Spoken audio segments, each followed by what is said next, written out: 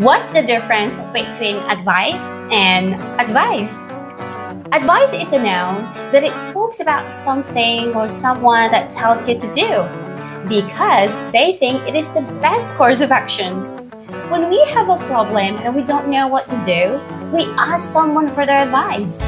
We ask them what they think is the best for us to do.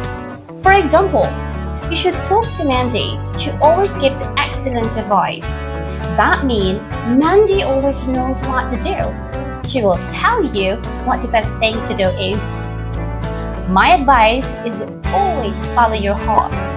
On the other hand, advice is a verb.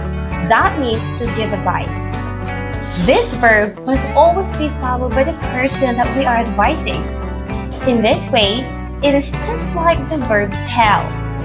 For example, Julina advises Mark to take a long, nice vacation. The experts advise the president about complex situations. That means the experts giving advice about complicated situations.